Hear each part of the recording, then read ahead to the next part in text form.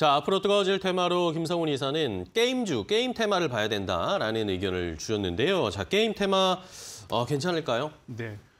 워낙에 많이 떨어졌습니다. 네. 우리 참 2021년 말일 정도였죠. 위메이드가 그 당시에 24만 원까지 올라가면서 여러 가지 게임 섹터들이 NFT, 뭐 코인 이쪽으로 엮이면서 그쵸. 급등했던 흐름들이 나왔었는데 그 뒤로 뭐 주가는 4분의 1 토막, 5분의 1 토막 거의 엄청나게 떨어진 상황이죠.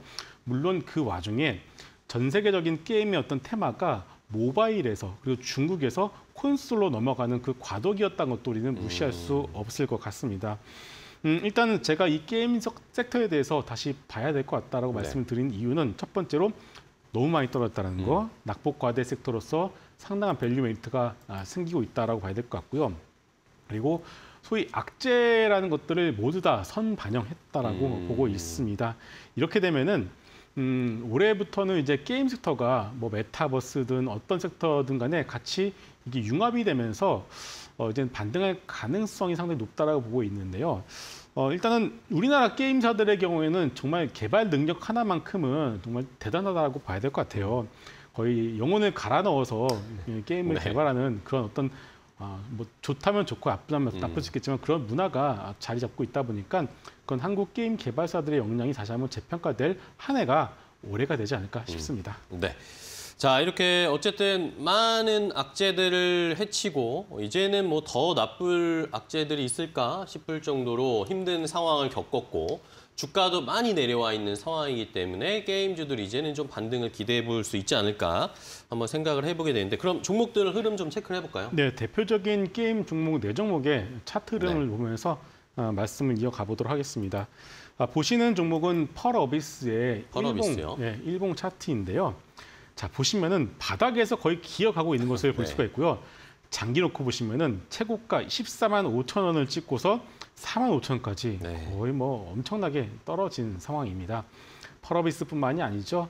어, 크래프톤, 크래프톤도 58만 원을 찍고 나서 지금 16만 5천까지 아, 거의 뭐 아, 4분의 1 그러게요. 토막이 난 상황이고요. 그리고 어, 넷마블 같은 종목들도 20만 4천 원까지 찍었다가 4만 1,900원 찍고 이제 6만 아, 1,500원 선에서 이제 음. 가격을 형성을 하고 네. 있습니다.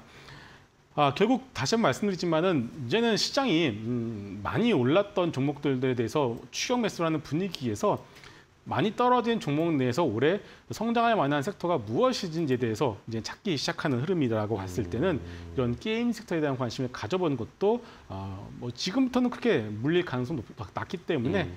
어, 좀 안전하게 접근해 볼 수 있는 그런 섹터라고 음, 봐야 될 것 같습니다. 네.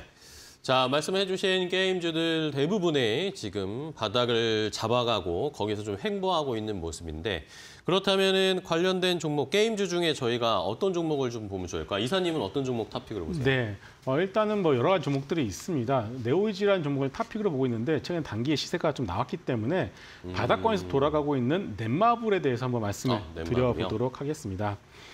자, 일단 넷마블이 얼마 전에 어, 12월 29일이죠. 그 당시에 파노가 중국에서 발급이 그쵸. 되었습니다. 음. 그러면서 한번 대량 거래량이 터졌, 터지면서 손바꿈이 한번 나왔다라고 이렇게 볼 수가 있을 것 같습니다.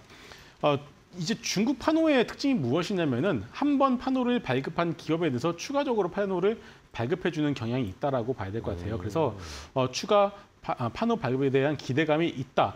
이것만 놓고 본다면 주가가 여기서 뭐 바닥을 깨고서 내려갈 가능성보다는 그런 파노에 대한 기대감만 가지고도 주가는 하방 경직성을 뛸 가능성이 음. 상당히 높을 것 같습니다. 네. 이미 그것만 가지고 우리는 안전 마진을 일단 확보를 하고 들어가는 거라고 볼 수가 있겠고요. 아, 신작은 2분기, 3분기 정도로 예상을 하고 있습니다. 나 혼자만 레벨업이라는 그런 게임이 있는데 일단 3분기 정도로 출시를 할 예정으로 어, 나오고 있고요. 여기에 대해서 넷마블 하면은 또 투자 자산 가치에 대해서도 얘기를 안 할 수가 없을 그렇죠. 것 같아요. 하이브, NC소프트, 코웨이를 가지고 있는데요. 최근에 하이브 주가 상당히 견조하게 올라가고 네. 있고요. NC소프트 같은 경우도 마찬가지로 어, 낙폭과대 이후에 조금씩 자리를 잡아 나아가고 있는 단계입니다. 아, 코웨이 같은 경우에는 이 방준혁 의장이 음, 상당히 어, 좀 의지를 가지고서 관심을 가지고 있는 회사인데요. 네네. 어, 코웨이도 어, 미국 시장 그리고 동남아시아, 말레이시아 시장까지도 확장세를 상당히 빠르게 넓혀가고 있는 만큼 이 자회사 지분 가치, 아, 자회사를 할 수 없겠죠. 이 투자 자산의 가치에 대한 재평가는 시간이 가면 갈수록 다시 아, 이루어질 수밖에 없다. 그렇다면 낙폭과에 대한 부분 그리고 추가 판호 발급에 대한 기대감 얼마 전에 터진 대량 거래량으로 손바뀜이 일어났고 그렇기 때문에 기술적으로도 자리를 잡았다 이것을 봤을 때 음, 넷마블 역시도 안전하게 어, 우리가 접근을 해볼 수 있지 않을까 싶습니다. 네, 좋습니다. 자, 넷마블을 탑픽 종목으로 꼽아주셨고 이제 작년 연말쯤에 한 바닥은 잡았고 어, 거래량이 한번 터지면서 주가 흐름이 이제 방향이 바뀌기 시작했는데 자, 그럼 마지막으로 가격 전략이 제일 중요할 것 같 습니다. 네. 어, 현재 뭐 일봉의 흐름을 보더라도 이- 오늘 딱 첫 거래가 살짝 다시 터지면서 올라가고 네. 있기 때문에 가격은 6만 2천 원 아래에서 여러분들이 접근해 보시는 건 나쁘지 않을 것 네. 같고요. 아, 목표가는 8만 원으로 제시를 해 드리도록 하겠습니다. 그리고 손절가는 5만 5천 원으로 제시를 해 드리도록 하겠습니다. 네, 알겠습니다. 자, 게임주들 이제는 떨어질 대로 떨어졌다. 안 좋은 이야기들은 이미 다 반영을 했고 소화를 해냈기 때문에 이제는 게임주들 중에서도 잘 선별을 해서 중국의 파노라든지 기대감 어, 가질 수 있는 종목들 잘 설명을 해주셨습니다. 그중에서 넷마블을 top pick으로 꼽아주셨으니까요. 가격 전략, 지금 가격도 충분히 접근 가능하다라는 의견 주셨으니까요. 잘 참고해 주시기 바랍니다.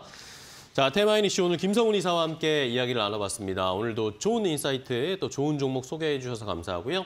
이사님 또 다음 시간에 뵙도록 하겠습니다. 고생하셨습니다.